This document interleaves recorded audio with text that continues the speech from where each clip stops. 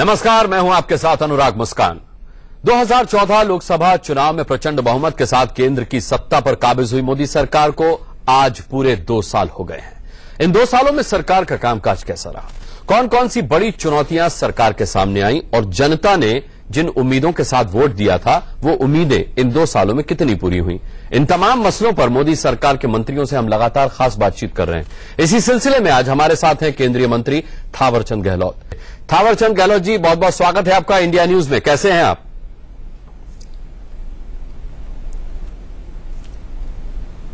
जी जी अच्छा हूँ। आपका धन्यवाद। आपका भी स्वागत है।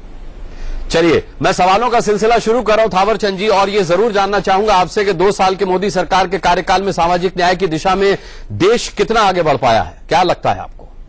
मैं ये महसूस करता हूँ कि इन दो वर्षों में नरेंद्र मोदी जी की सरकार में और उनके मार्गदर्शन में मेरे मंत्रालय ने ऐतिहासिक उपलब्धियाँ हासिल की है।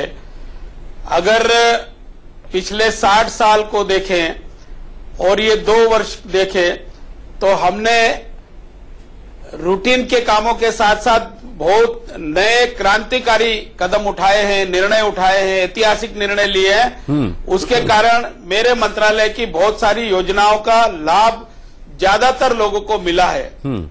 मेरे मंत्रालय की ओर से सामाजिक आर्थिक शैक्षणिक राजनीतिक और सांस्कृतिक जो विषमताएँ हैं उनको दूर करने की दृष्टि से बहुत सारी योजनाएँ बनाई है।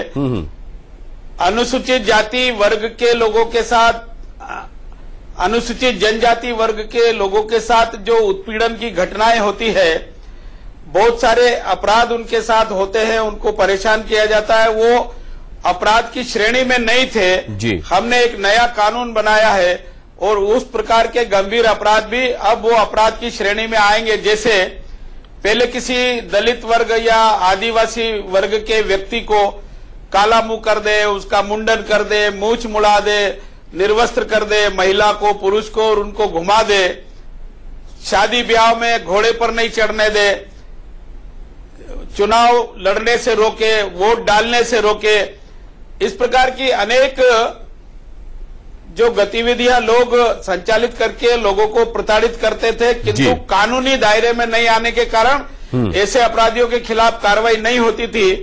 फिर एक कानून में प्रावधान था कि 10 साल से अधिक की सजा का जिसमें प्रावधान है आईपीसी के अंतर्गत वही एट्रोसिटीज एक्ट में नहीं आएगा बाकी के नहीं आएँगे। हमने पिछले ही सत्र में एक नया कानून बनाया और सब प्रकार के अपराध जो मैंने बताए वो अब इस श्रेणी में आ गए हैं। और ये कानून 26 जनवरी 2016 से लागू हो गया और इससे संबंधित नियम भी 14 अप्रैल 2016 अंबेडकर जी की जयंती से देश में लागू हो गए। इसके कारण अब इन वर्गों के साथ जो विषमता भरी भेदभाव छुआछूत के आधार पर लोग प्रताड़ित करने का काम करते थे उसमें रुकावट आएगी। जी। इसके साथ ही साथ शैक्षणिक दृष्टि से इनका सुधार करने के लिए ड्रॉपेज कम हो उच्च स्तर तक की शिक्षा पढ़ने के लिए लोग संस्थाओं में जाए कॉलेज में जाए स्कूल में जाए इसके लिए pre matric post matric scholarship overseas scholarship अर्थात विदेश जाकर कोई पढ़ना चाहे तो उनको भी ये सुविधा देते हैं। है। फिर हम उच्चस्त डिग्रियाँ जो हासिल करते हैं कोई पीएचडी कर रहा है कोई आईआईएम कर रहा है कोई आईटीआई कर रहा है कोई आईआईटी कर रहा है एमबीबीएस कर रहा है इन सब प्रकार की पढ़ाई करने वालों को भी राष्ट्रीय फेलोशिप योजना के अंतर्गत सुविधा देते हैं। जी। थावरचंद जी आपको नहीं लगता कि एक साल के अंदर सबसे ज़्यादा अगर सवाल उठे हैं तो सामाजिक न्याय को लेकर ही सरकार पर सवाल उठे हैं? हैदराबाद में जिस तरीके से दलित छात्र रोहित वेमुला ने आत्महत्या की विपक्ष ने उसको बहुत बड़ा मुद्दा बनाया। क्या कहेंगे आप? हैदराबाद की घटना की अगर बात कर रहे हैं तो इसके अलावा इन दो वर्षों में ऐसी कोई बड़ी घटना नहीं हुई। फिर भी मैं ये कहना चाहता हूँ जी। कि हैदराबाद की घटना भी बड़ा चढ़ा करके बताई गई है उस उस रोहित वेमुला का जो कार्यशैली थी और कार्य योजना थी और जिस संगठन का वो काम करता था वो देशद्रोही गतिविधियों में संलग्न रहने वाला काम करता था। आपको मालूम है याकूब बेमन की जब फांसी दे करके उसको सजा दी गई तो उन्होंने एक कार्यक्रम किया नवाज़ जनाजा। हम्म। और उसमें भाषण दिया और ये कहा कि याकूब मेमन की फांसी गलत दी है। हम हर घर में याकूब मेमन पैदा करेंगे सो याकूब मेमन पैदा करेंगे। और देशद्रोही गतिविधियों में संलग्न हुआ। जी। और इसका जब इनकाउंटर किया सोशल मीडिया पर विद्यार्थी परिषद के कार्यकर्ता ने जी जी। और उसने कहा कि ये देशद्रोही गतिविधि हम इसको सहन नहीं करेंगे।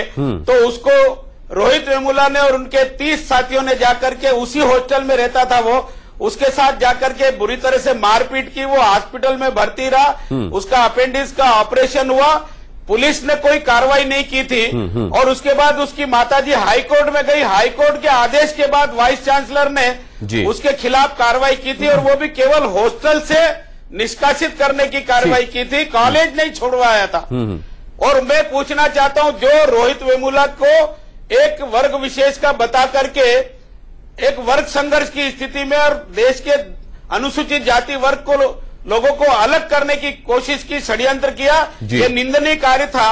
मैं आपको बताना चाहता हूँ आपके माध्यम से उनसे पूछना चाहता हूँ उनके पास कोई जवाब हो तो वो बताए कि रोहित वोमिला के पहले 11 छात्र छात्राओं ने आत्महत्या की थी 2006 से लेकर 2014 तक। जी। जब यूपीए की सरकार थी क्यों नहीं गए थे राहुल गांधी जी? क्यों नहीं गए थे केजरीवाल जी? क्यों नहीं गए थे और दूसरे लोग? ठीक सवाल पूछ जानबूझ करके उस घटना को दलितों को भ्रमित करके दलितों को अलगाववाद की ओर ले जाने का षड्यंत्र किया ये निंदनीय कार्य है। इसके पहले हरियाणा में हुड्डा साहब की सरकार थी। मिर्चपुर के दलितों के साथ अन्याय हुआ बगाना के दलितों के साथ अन्याय हुआ। वो गाँव छोड़ कर के गए। किसी ने रिपोर्ट तक नहीं लिखी। कहाँ गए थे? कांग्रेस के मुखिया। कहाँ गए थे? दूसरी पार्टी के लोग। ये जानबूझ करके नरेंद्र मोदी जी की सरकार की अच्छा काम करने की जो सामने कार्यशैली आई है देश आगे बढ़ रहा है देश विकास कर रहा है उससे दुखी होकर के अपनी ज़मीन खसक गई नीचे की। तो वातावरण बना करके ऐसा दर्शाने की कोशिश कर रहे हैं कि दलितों के साथ अन्याय हो रहा है। मैं उन्नीस सौ से संघ का जनसंघ का भारतीय जनता पार्टी का कार्यकर्ता हूँ। सर्वाधिक अनुसूचित जाति वर्ग की पिछड़े वर्ग की और अनुसूचित जनजाति वर्ग की हितैषी कोई पार्टी है? तो भारतीय जनता पार्टी और उनसे संबंधित भारत सरकार और राज्य सरकार। रोहित की माताजी 1981 से 1985 के बीच में गुंटूर के राज मोहल्ला विद्यालय में पढ़ती थी। उसने रजिस्टर में जो अपना रिकॉर्ड नोट कराया था जी। उसमें वी राधिका ठीक है। जाति वडेरा हम्म। ये दिखाया था और वडेरा ओबीसी में आती है। जी। एक ताज़ा उदाहरण और देना चाहता हूँ। 2 जुलाई 2014 को ताज़ा उदाहरण हम्म रोहित वेमुला का छोटा भाई राज चैतन्य उसका जन्म प्रमाण पत्र बनाने के लिए उसकी माताजी ने गुंटूर के तहसीलदार के सामने एक शपथ पत्र दिया हाँ। और उसमें जाति लिखी वडेरा ओबीसी ठीक है। अगर 2014 में रोहित का छोटा भाई वडेरा ओबीसी है उसकी माँ वडेरा ओबीसी है तो रोहित दलित कैसे हो गया? ठीक है। ये भी एक मैं समझ गया। आपका आपका संदेश समझ गया। उसकी उच्च स्तरीय जाँच। हाईकोर्ट के आदेश से ठीक है। और जाँच अधिकारी ने भी रिपोर्ट दी है कि वो दलित नहीं था। मैं समझ गया। जी। मैं मैं अगला सवाल ये पूछना चाहता हूँ तो क्या इस आधार पर आप मानते हैं कि देश में दलितों की हालत में बदलाव आया है? क्योंकि 21वीं सदी में अलग मंत्रालय होने के बावजूद हमने देखा कि उत्तराखंड में मंदिर के अंदर प्रवेश को लेकर के किस तरीके से दलितों का जब प्रवेश था उस मुद्दे पर बवाल मचा, आपके सांसद तरुण विजय साहब तक इसमें घायल हो गए। क्या कहेंगे आप इस मुद्दे पर? क्या दलित पिछड़े आज भी वोट बैंक ही समझे जाते हैं? राजनीति की दृष्टिकोण से ही देखे जाते हैं देश में। देखो इन दो वर्षों में अनुसूचित जाति जनजाति और पिछड़ा वर्ग के हित संरक्षण की अनेक कार्य योजनाएँ संचालित की है और घटनाओं में भारी मात्रा में कमी आई है। परंतु उसके बाद भी यदा कदा इस प्रकार की घटनाएँ हुई है।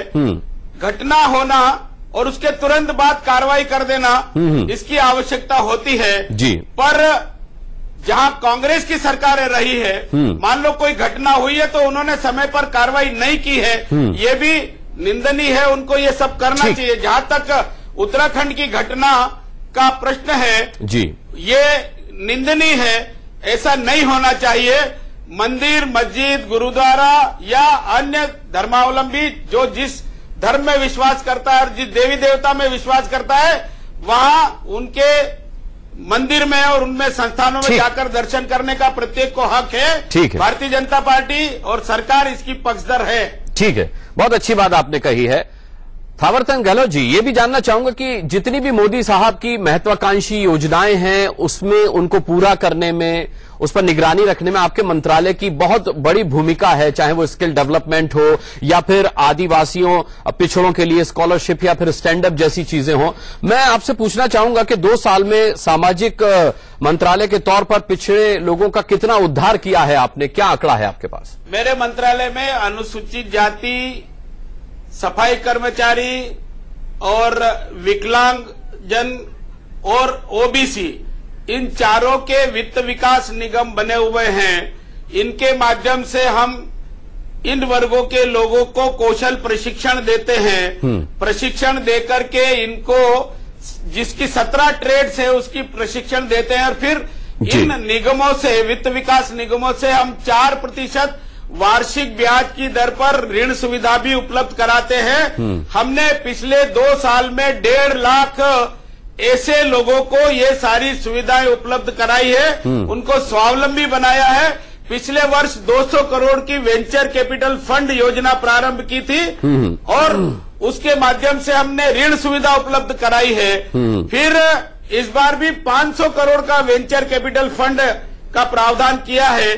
और देश में जितनी भी बैंक शाखाएँ हैं मेरी जानकारी अनुसार 125 एक लाख पच्चीस हज़ार वो शाखाएँ हैं। जी। और एक लाख पच्चीस हज़ार में प्रत्येक शाखा को यह आदेश दिया है कि कम से कम दो अनुसूचित जाति और जनजाति वर्ग के लोगों को ऋण देना ही है।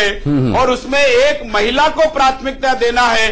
अगर आप ये नियम लागू होता है तो मान के चलो कि ढाई लाख लोगों को तो ऋण सुविधा मिलेगी। ठीक है। इसके साथ जनधन योजना अनुसूचित जाति वर्ग और गरीबों के हित की ही है। ये मुद्रा योजना जो बिना गारंटी के बिना संपत्ति को गिरवे रखे जी। ऋण सुविधा देने की योजना ये भी हमारे विभाग के लोगों को या मेरे विभाग में आने वाले वर्ग के लोगों को लाभान्वित करने वाली है। इसी प्रकार से हमने ओबीसी वित्त विकास निगम के माध्यम से भी पिछले दो वर्षों में हज़ारों की संख्या में लोगों को प्रशिक्षण दिया है। प्रशिक्षण के दौरान मानदेय भी देते हैं। सफ़ाई कर्मचारी वित्त विकास निगम की ओर से हमने तय किया है भारत सरकार की ओर से कि हाथ से मेला ढोने वाली प्रथा को पूरी तरह से समाप्त करेंगे। जैसे ही हमको पता लगता है हम उनको मुक्त कराने के लिए चालीस हज़ार एक मुफ़्त आर्थिक सहायता देते हैं और फिर उनको ट्रेनिंग देते हैं और ट्रेनिंग में सस्ते ब्याज की दर पर ऋण सुविधा देते हैं। अभी हमने साढ़े चार सौ सफ़ाई कर्मी परिवार से संबंधित महिलाओं को मोटर मैकेनिकल की ट्रेनिंग दी है। जी। मोटर ड्राइविंग लाइसेंस की ट्रेनिंग दी है। उनके कॉमर्शियल ड्राइविंग लाइसेंस बनाने की कार्रवाई की है। और उसमें से बहुत सारों को रोज़गार भी दिलवाया है और स्वावलंबी बनाने की दृष्टि से ऋण सुविधा भी दे रहे हैं। जी। एक छोटा सा ब्रेक लेंगे वापस लौटेंगे। थावरचंद गहलोत जी से चर्चा सवालों का सिलसिला जारी रहेगा। ब्रेक के बाद एक बार फिर आपका स्वागत है। हमारे साथ केंद्रीय मंत्री थावरचंद गहलोत लगातार बने हुए हैं। सवाल जवाब का सिलसिला चल रहा है। थावरचंद जी, अगला सवाल मेरा यह है कि मोदी सरकार ने डिसेबल लोगों, यानी दिव्यांगों के कल्याण पर बहुत ज़ोर दिया ये नाम भी मोदी सरकार का ही दिया हुआ है, दिव्यांग। सार्वजनिक स्थानों और पब्लिक ट्रांसपोर्ट को डिसेबल फ्रेंडली बनाने का अभियान चल रहा है। सवाल ये कि इसके अलावा दिव्यांगों के लिए सरकार के पास क्या योजनाएँ हैं? पहले दिव्यांग वर्ग में आने वाले जो छात्र छात्राएँ हैं उनको किसी प्रकार की कोई छात्रवृत्ति नहीं मिलती थी। 2014-15 से हमने प्री मैट्रिक पोस्ट मैट्रिक जी। ओवरसीज स्कॉलरशिप और नेशनल फेलोशिप स्कॉलरशिप प्रारंभ की। और इन दो वर्षों में हमने लगभग छत्तीस हज़ार ऐसे छात्र छात्राओं को ये सुविधा दी है साढ़े चार करोड़ से अधिक की धनराशि की। इसके साथ ही साथ हमने अभी जो श्रेणी है इन वर्गों की उसमें सात श्रेणी है। विचार विमर्श करके एक नया कानून लाने का निर्णय किया है और वो राज्यसभा में प्रस्तुत किया है। अब उसकी 19 श्रेणियाँ हो जाएगी। अर्थात कोई भी विकलांग श्रेणी में आने वाला व्यक्ति भारत सरकार की और राज्य सरकार की योजनाओं से वंचित नहीं रह पाएगा उनको सारा लाभ मिलेगा। अभी तक हमने चार लाख चालीस हज़ार दिव्यांग जनों को किसी को हाथ किसी को पाँव किसी को सुनने की मशीन किसी को कॉकलियर इम्प्लांट की सुविधा और किसी को व्हील चेयर किसी को जाने आने के लिए जो ब्लाइंड लोग हैं उनको एक आधुनिक छड़ी देते हैं। जो मार्ग में कोई बाधा आती है तो वाइब्रेट करने लगती है और उसको संकेत मिल जाता है कि आगे खतरा है। ऐसी अनेक योजनाएँ और इसके साथ ही साथ इनको कौशल प्रशिक्षण देने का काम भी किया है। जी। पिछले दो वर्षों में डेढ़ लाख दिव्यांगजनों को प्रशिक्षित किया है और उसमें से चार प्रतिशत वार्षिक ब्याज की दर पर ऋण सुविधा उपलब्ध कराई है ठीक है। और कारोबार में लगाया है इनको स्वावलंबी बनाया है। दिव्यांगों की पढ़ाई के लिए केरल में एक नई यूनिवर्सिटी बनाने का निर्णय लिया है। और वो यूनिवर्सिटी अगले दो तीन महीने के अंदर अंदर चालू हो जाएगी। मैं बहुत बहुत आपको बधाई देना चाहूँगा और साथ ही आगामी जो योजनाएँ हैं उनको आप जल्द से जल्द पूरा करें। इसके लिए आपको बहुत बहुत शुभकामनाएँ। आपने हमसे बातचीत की आपका बहुत बहुत धन्यवाद करना चाहेंगे। तो ये थे सामाजिक न्याय और अधिकारिता मंत्री थावरचंद गहलोत। वक्त